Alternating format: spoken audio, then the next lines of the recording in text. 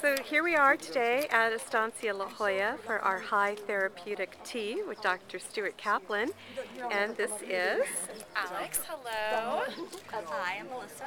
Andrea, and Andrea and Melissa, where are you from? uh, Ventura County, Ventura County. So you came to visit Estancia Right. for the weekend? for the weekend. Wonderful. We did the wine tour yesterday, which was fabulous. Oh, good. then we had a spa treatment today, and we were just in the gym.